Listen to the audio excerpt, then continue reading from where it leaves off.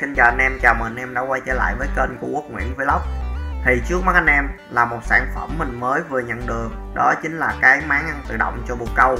Đó Thì đây Chính là tổng quan của cái máng ăn này. Đó Thì bây giờ mình sẽ soi từng cái chi tiết cho anh em xem nha. Đây, chúng ta bắt đầu từ cái này gọi là cái chung.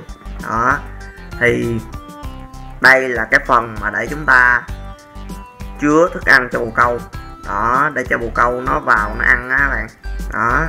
Thì bồ câu hay là chim hay là cái loại chim nhỏ, đó, thì à, đều có thể sử dụng được cái sản phẩm này nha anh em. Đó. Nhưng mà tại vì nhà mình nuôi bồ câu nên là mình nói bồ câu. Đó. Thì đây nó là một cái nấc để anh em có thể tăng chỉnh cái độ nhiễu thức ăn bồ câu cái đầu chảy của thức ăn bồ câu anh em. Đó. Thì nếu mà anh em muốn nó chảy nhiều thì anh em tăng nó lên. Còn nếu mà anh em muốn nó chảy ít, anh em muốn nó nhiều ít á, thì có thể là hạ nó xuống. Đó, như thế này. Đó. Thì nó sẽ nhiễu xuống ít, nó sẽ chảy xuống ít hơn. Đó. Và trên nắp thì nó sẽ có cái viền giống như thế này nè anh em. Đó thì nếu mà những cái loại mà chim nhỏ, ví dụ như là chim yếm phụng, chim sẻ, đó, thì anh em có thể cắt những cái viền này để anh em cho nó đút đầu và nó ăn được, đó. Ví dụ giống như vậy nè, anh em. Đó, bên đây là cắt rồi, còn bên đây là chưa cắt. Đó, anh em có thể thấy được sự khác biệt nè. Đó. Và ở cái viền ở cái viền thì mình sẽ cố định bằng ba con ốc giống như thế này để cho nó cứng cáp hơn.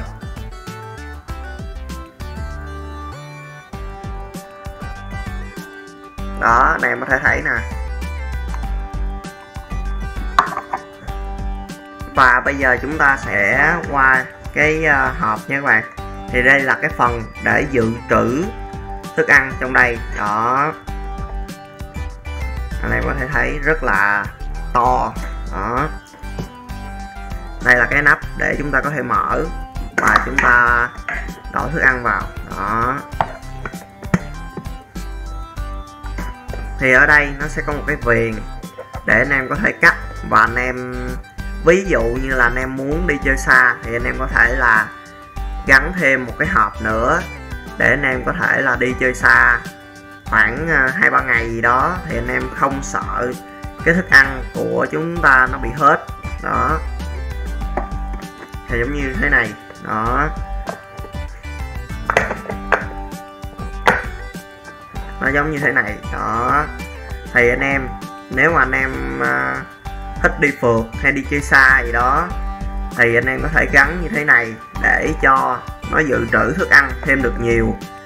Đó và chim của chúng ta không có sợ bị thiếu thức ăn này nọ. Đó. Thì nó sẽ như thế này. Và bắt vào rất là cứng nha anh em. Đó, rất là cứng. Đấy, anh em có thể thấy rất là cứng. Và ở đây thì mình đã có làm một cái g, nhưng mà mình vẫn bắt ốc vào để cho nó cứng cáp hơn. Đó.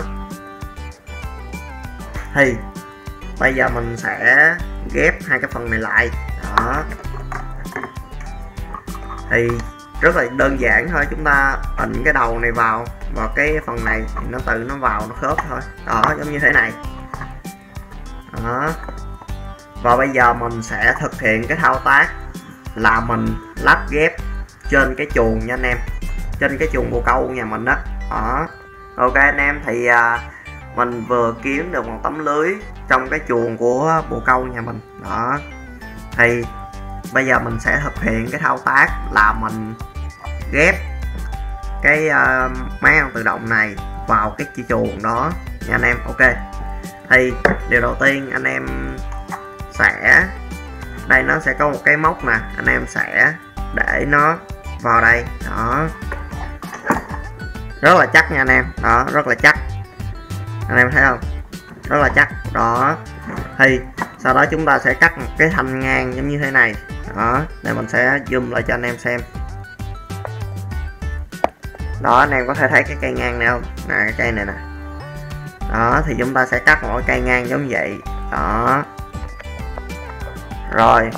Và bây giờ mình sẽ xoay cái lưới này lại để mình gắn cái hộp này cho anh em xem nha đây và bây giờ mình đã quay cái lưới lại cho anh em xem rồi. Đây là cái mặt sau nè. Đó anh em có thể thấy nè. Đó đây nè. Anh em có thể thấy nó móc vào nè. Rất là cứng. Đó.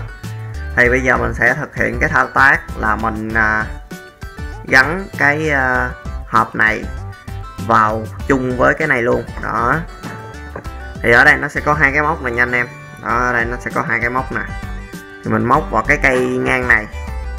Mình móc vào cái cây ngang này. Đó, để cho nó có độ, có sức chịu đựng. Đó.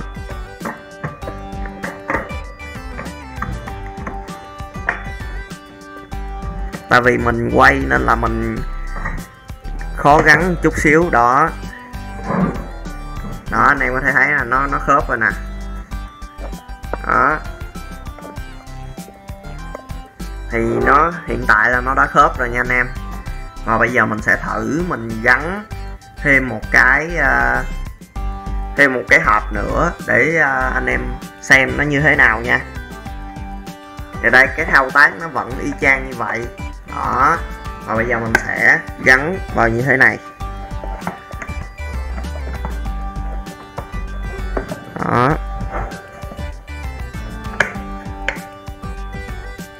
Nó hơi cứng một chút nha anh em. Ừ. Nó hơi cứng một chút. Đó. Thì anh em nhớ là anh em phải cắt cái lỗ giống như thế này nha anh em. Đó anh em phải cắt cái lỗ giống như thế này. Thì nó mới uh, có chỗ để mà anh em đút cái hộp vào. Ok. Đó. Đó và bây giờ mình sẽ bắt đầu mình ghép cái hộp này lên trên luôn nha anh em đó. Thì uh, anh em cũng phải cắt một cái cây giống như vậy một cái cây giống như hồi nãy mình quay á thì anh em mới có thể là để vào.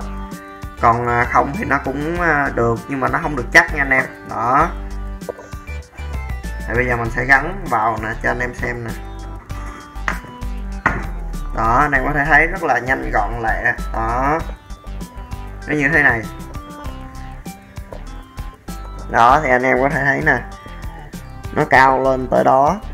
Đó thì anh em không sợ. Anh em khỏi phải sợ những cái chung những cái thức ăn của chim hết khi mà chúng ta đi chơi xa. Đó. Thì một cái hộp như thế này thì uh, mình nghĩ là khoảng từ 3 đến 4 ngày thì nó sẽ hết thức ăn. Nên là anh em nào mà đi chơi xa hay là đi du lịch xa thì anh em có thể là anh em nên mua cái bộ sản phẩm này để anh em uh, có thể là vừa chăm sóc chim và vừa đi chơi được luôn. Nó rất là tiện lợi nha anh em. Ok anh em thì uh, mình vừa mới review cho anh em xem cái máng thức ăn tự động cho bồ câu hoặc là những cái loại chim nhỏ à, anh em lưu ý với mình là những cái loại mà chim ăn cám nha. Đó chứ uh, những cái loại mà chim giống như ví dụ như đại bàng nó ăn thịt thì uh, mình không có để vào đây được nha. Đó anh em lưu ý mình một chỗ đó. Thì cái uh, quan điểm cá nhân của mình mình đánh giá là như thế này nó rất là tuyệt vời. Đó cứng cáp chắc cú. Là anh em có thể thấy là nhà sản xuất họ đã bắt ốc cho chúng ta rất là cứng cáp.